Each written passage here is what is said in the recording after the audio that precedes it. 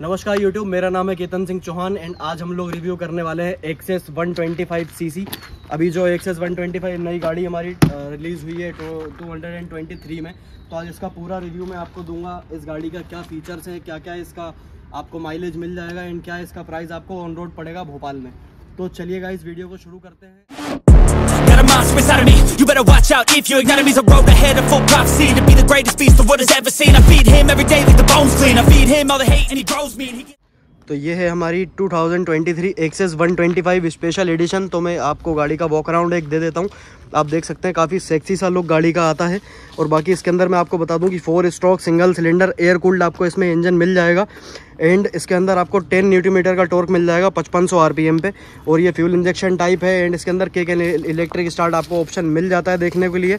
और अगर बात करें इसके ओवरऑल लेंथ की गाड़ी की तो गाड़ी की ओवरऑल लेंथ है 1870 mm एंड अगर ओवरऑल विड्थ की बात करें तो 690 mm इसकी आपको विड्थ मिल जाएगी। व्हील बेस इसके अंदर आपको बारह सौ mm का मिल जाएगा एंड ग्राउंड क्लियरेंस आप देख सकते हैं, गाड़ी का काफ़ी सही है 160 mm आपको ग्राउंड क्लियरेंस मिल जाएगा, जिससे आपको कभी भी ब्रेकर वगैरह में जो गाड़ी निकालने में दिक्कत आती है, वो नहीं आएगी। और इसके अंदर आपको एलोई व्हील का फीचर देखने को मिल जाता है, ये फ्रंट डिस्क ब्रेक के साथ आती है एंड सेकंड जो इसका रियर ब्रेक होता है, वो ड्रम ब्रेक होता है। टायर साइज़ आपको मिल जाएगा nineteen nineteen twelve tubeless tyre इसमें आपको फ्रंट का मिल जाएगा। एंड अगर बैक टायर की बात करें, इसमें आपको बैक में टायर मिल जाएगा नब्बे, सौ, दस ट्यूबलेस। दोनों इसके ट्यूबलेस टायर आते हैं और इसका जो फ्रंट सस्पेंशन है, वो टेलीस्कोपिक शॉकअप्स हैं, आप देख सकते हैं। बाकी इसका जो रियर है, वो स्विंग आर्म है। तो आप लोग देख सकते हैं, इसके अंदर आपको एलईडी हेडलैम्प देखने को मिलेगा और यहाँ पे एलईडी पोजीशन लाइट आपको देखने मिलेगी। काफ़ी ज़्यादा ज़्यादा अच्छा इसका लुक आता है नाइट के टाइम में। और अगर बात करें इसके साइड ग्लास तो साइड ग्लास की क्वालिटी काफ़ी ज़्यादा मुझे अच्छी लगी है। स्टेनलेस स्टील के अंदर आपको मिल जाएगा। काफ़ी रेट्रो सी फीलिंग आपको एक दे रहा है। और अगर एसेसरीज़ की बात करें कंपनी फिटेड तो आपको ये आपको कंपनी फिटेड मिल जाएगा। बाकी ये आपको शोरूम से अलग से लगवानी पड़ेगी और इसमें एक्सटर्नल फ्यूल लिट दिया हुआ है। तो आपको बिल्कुल भी अपना बूट स्पेस खोल के आपको पेट्रोल डालने की ज़रूरत नहीं है। आप यहाँ से इसमें पेट्रोल फिल करवा सकते हैं। और अगर बात करें इसके बूट स्पेस की तो आपको दिखा देता हूँ इसमें क्या बूट स्पेस आपको मिलता है। यहीं से इसका बूट खुल जाता है। तो इसमें आपको 21.8 लीटर का बूट स्पेस इसके अंदर आपको मिल जाएगा। काफ़ी बड़ा स्पेस है मेरे हिसाब से तो काफ़ी मेरा सामान इसके अंदर आराम से आ जाता है।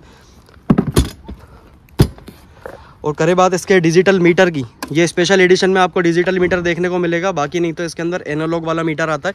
तो ये काफ़ी सारे फीचर्स आपको प्रोवाइड करवा देता है। जैसे कि आपको ट्रिप ये दिखा देगा ट्रिप वगैरह शो करता है। ये पूरा आपको पेट्रोल वगैरह का दिखा देता है कि इसके अंदर कितना आपका फ्यूल बाकी है। एंड इसमें आप ब्लूटूथ या मोड पे कनेक्ट करके आप अपना मोबाइल इससे कनेक्ट कर सकते हो। तो आप काफ़ी सारे मोबाइल के फीचर्स भी इसके अंदर, अपनी गाड़ी के अंदर देख सकते हैं पहले से ही। और बाकी इसमें ये यूएसबी चार्जिंग स्लॉट दिया है तो काफ़ी सेक्सी सा लगता है। दिन में भी इसमें लाइट जल रही है। और यहाँ पे अपना आप चार्जर लगा के यहाँ अपना बूट स्पेस स्टार्टिंग में जो दिया हुआ है, आगे फ्रंट में यहाँ पे अपना फ़ोन रख के आराम से गाड़ी पे भी चलती गाड़ी में आप इसको चार्ज कर सकते हैं। तो करें बात अगर बटन्स की तो बटन्स की क्वालिटी भी काफ़ी सही है। आप देख सकते हैं। साउंड की अगर देखी जाए तो साउंड भी काफ़ी सही है गाड़ी का।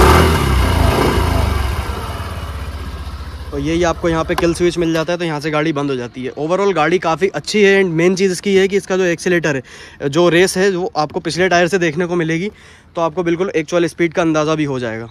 गाड़ी के अंदर एक चीज़ मुझे काफ़ी पसंद आई है कि इसमें सेंटर लॉकिंग सिस्टम है। आपने यहाँ से अपनी की निकाली है गाड़ी की और यहाँ से आप इसको सेंटर लॉक कर सकते हैं तो बिल्कुल आपका एक बार में लॉक ये हो जाता है। तो यार काफ़ी ओवरऑल गाड़ी तो काफ़ी ज़्यादा मुझे पसंद आई है, कोई दिक्कत मुझे गाड़ी में नहीं लग रही है कलर की क्वालिटी काफ़ी सही है। एंड ये राइट कनेक्ट एडिशन है, मैं आपको बता चुका हूँ, क्योंकि इसका जो कंसोल है, वो उसमें आप ब्लूटूथ कनेक्ट कर सकते हो अपने मोबाइल के साथ।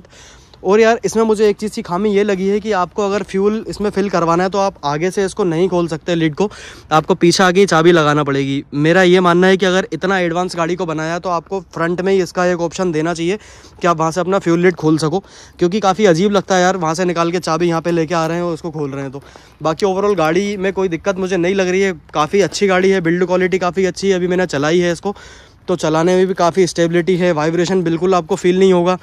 और इसमें आपको सेंटर स्टैंड में, ये साइड स्टैंड में भी आपको ऑप्शन मिल जाता है कि जब आप ये लगा होगा तो इसमें सेंसर है गाड़ी चालू नहीं करेगा, या चालू गाड़ी में अगर आप साइड स्टैंड खोल दोगे तो गाड़ी उसी टाइम बंद हो जाएगी।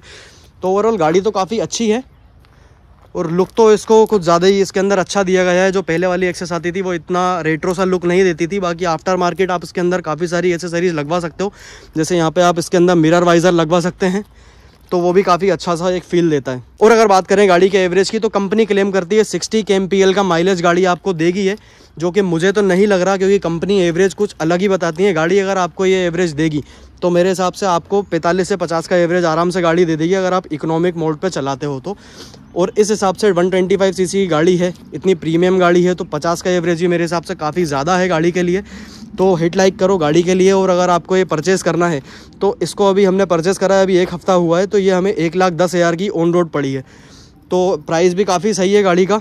तो बिल्कुल आप भी अगर एक्सेस 125 परचेस करना चाहते हैं तो काफ़ी अच्छा ऑप्शन है। तो ये रिव्यू हमारा था आज एक्सेस 125 के लिए तो मुझे पर्सनली गाड़ी काफ़ी ज़्यादा पसंद आई है। आई होप आपको भी रिव्यू के अंदर काफ़ी सारी चीज़ें जो नहीं आपको मालूम थी, वो आपको पता चल गई होंगी। अगर कुछ आपको और कुछ भी पूछना हो तो आप नीचे कमेंट कर सकते हैं, उसके ऊपर हम शॉर्ट वीडियो बना के डाल देंगे। बाकी अगर रिव्यू पसंद आया हो आपको तो हिट लाइक करो वीडियो को एंड सब्सक्राइब कर लो गाइज़ और अगर आप भी अपनी वन ट्वेंटी एक्सेस परचेस करना चाहते हो तो बिल्कुल अपने नज़दीकी शोरूम में जाके आप बिल्कुल परचेस कर सकते हो और मिलते हैं अगले वीडियो में, तब तक के लिए जय हिंद।